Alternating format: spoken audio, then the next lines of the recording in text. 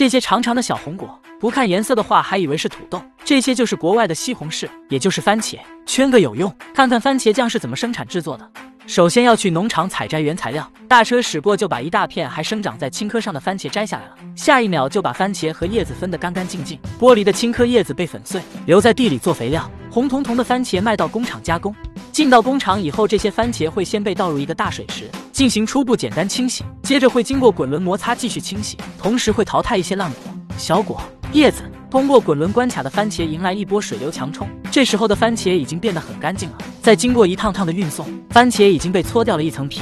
这是进行打酱前的最后一道工序，工人们进行最后的检查，没有问题的话，这些番茄就被送去打成浆糊了。在这些浆糊里加一些水，让它会变得更光滑，这样就更容易运输到储存罐里。要做番茄酱，还要加入一些其他配料，糖、醋、番茄、盐水，还有秘制香料。加入配料后。将番茄酱进行加热，搅拌均匀之后再进行冷却，所有的制作环节就完成了。接下来要通过这个装置进行严格测试，将一定量的番茄酱倒入其中，测量它在十秒后移动的速度。这个测试是用来检验番茄酱的粘稠度的。如果测试不合格，这批番茄酱就不能投入市场。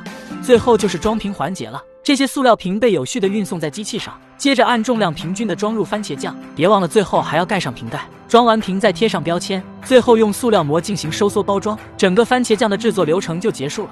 点击关注，带你看更多有趣的制作过程。我们下期再见。